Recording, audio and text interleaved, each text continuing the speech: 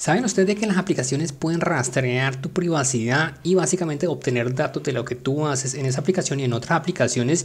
Dice que iPhone es el teléfono más seguro del mundo, pero lo permite y si ingresas aquí por configuración debes desactivar esta opción. Así que bajan y bajan aquí, bajan por privacidad y seguridad y aquí donde está la opción de rastreo por defecto viene activado. Así que lean aquí, van a hacer un acercamiento para que ustedes vean de que lo que les estoy diciendo es cierto. Dice, si está activado permite que las aplicaciones soliciten rastrear tu actividad en aplicaciones y sitios web que son propiedad de otras empresas. Cuando esta opción esté desactivada se rechaza automáticamente todas las solicitaciones de rastreo. Así que mucho ojo, desactiven esto o si no las aplicaciones estarán viendo qué estás haciendo, en qué estás navegando, qué estás visitando y mucho ojo.